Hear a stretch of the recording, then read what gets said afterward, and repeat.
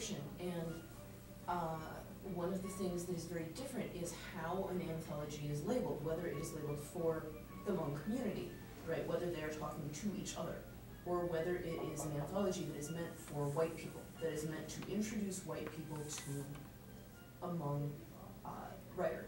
And it is, it is a very different set of poems and a very different set of essays and pieces of fiction that will be selected um, to, to introduce. And I think I'm hearing a lot of that from, from the panelists about the, this, the essays and the jokes that you can tell and the references you can make for a, a queer audience. But I think, you know, versus saying, oh, we need to introduce the word QUILTBAG, you know, that my grandmother, for example, might be touched by some of the stories Dave was telling mm-hmm. about his stuff growing up, but if he's saying QUILTBAG, grandma doesn't know that acronym. You know, so how, how do you know how, or if you're new, either doing new advocacy or new to doing advocacy, how do you know how to label and market the work you're doing so that it's getting to the people that you're trying to talk to? Well, that's, that's part of the core decisions you make as you are putting together the idea, not even put, approaching people or figuring out,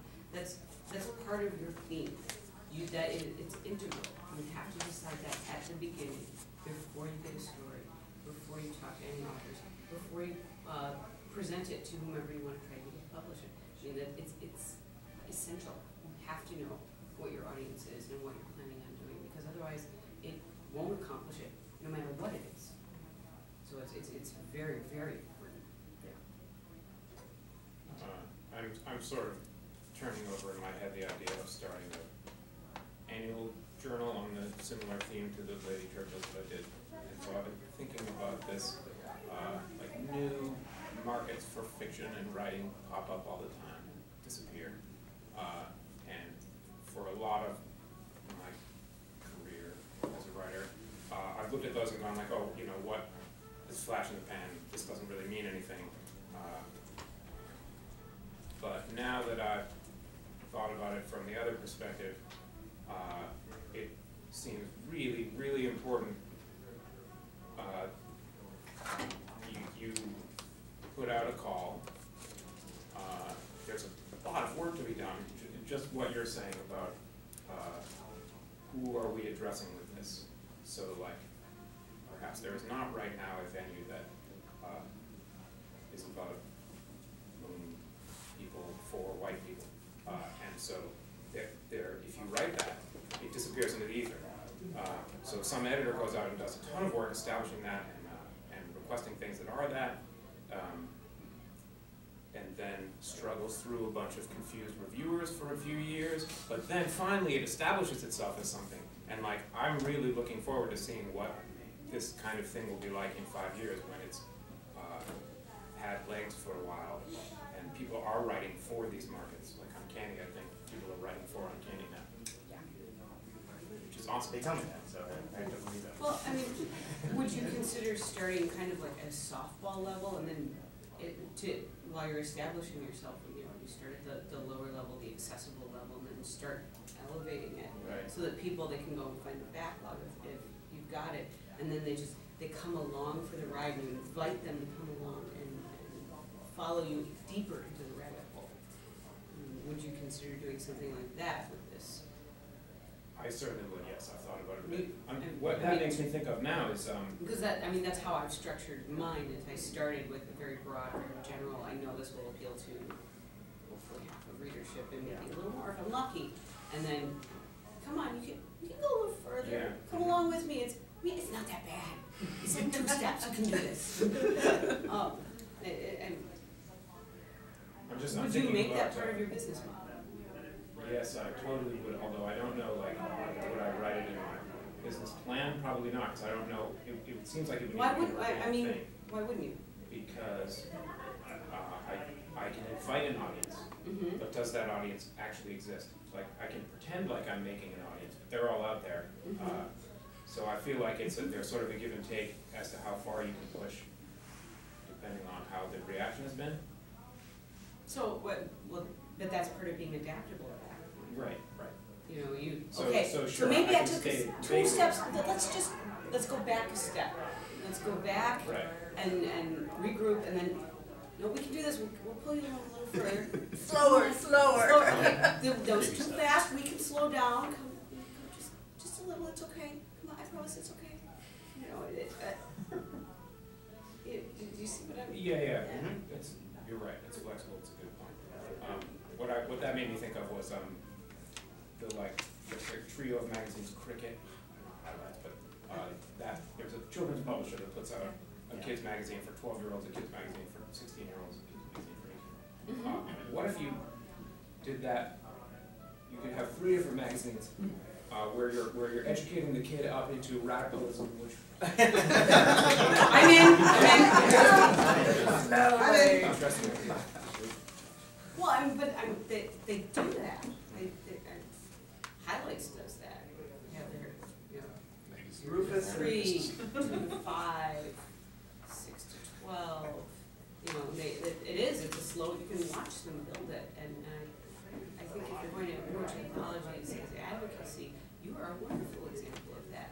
You, you start, okay, women destroy science fiction, and, and, yeah, everybody went along for the ride, all right, all right, queers destroy science fiction, how's that go? Okay, all right, you're still there with me, we lost a couple people, that's cool, they'll, they'll come around, I know. It's actually John, John McSpadden's, right, so. I'm sorry, yeah, yeah, but, well, Well, I, yeah, I'm well- sorry, I associate you very strongly with Yeah, well, I mean, we, we are, we, I mean, we, we- we heavily support those projects. And, yeah, and they that's why, yeah, I always hear about it from you. Twitter, that's Well, where it always, I don't hear it, I mean, I hear it from other people, but you're always the first person.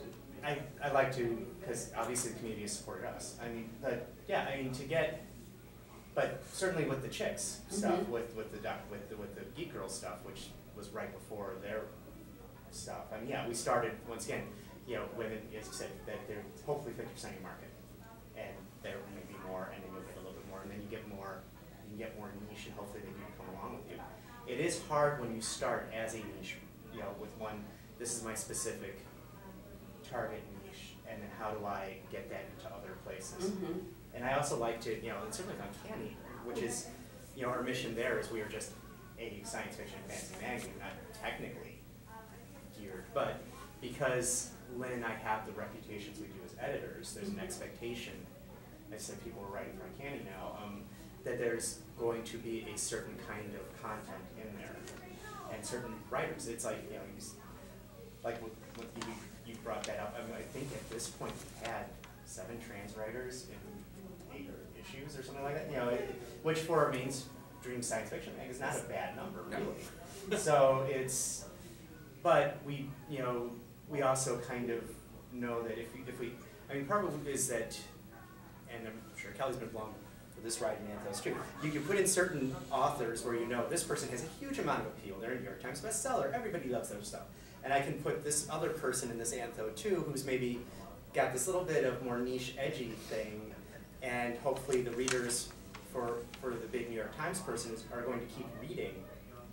So, you know, like with Glitter Mayhem, we had a lot of people who bought it for Seanan because people love Seanan. And, you know, and then oh, some of the reviews. I mean, this was one of those, get back to reviews. Um, some people were like, oh my god, this is great. And then other people were like, there literally was a review for Glitter and Mayhem on, on Amazon, still there, saying it needs to be labeled, I, I'm a Seanan fan, it needs to be labeled warning gay. Because there are too many gay stories in here. Do they not know? Have they? Yes, Seanan then had that rant. Saying I did, pretty much, I disavow this fan because clearly this fan does not know who I am or my work.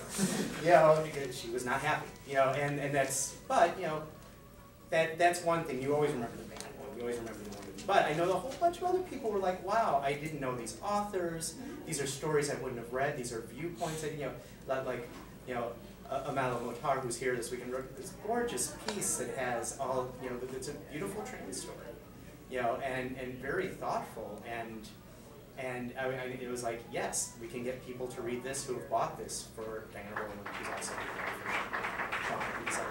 you know, you know, you know, much, you know, their stories are a little bit more, you know, traditional kind of what they're doing in their urban fantasy novels. So I think we're at time. We'll let the next panel. Thank you guys all very much. It was a great discussion. And again, thank you for coming up early on a Saturday.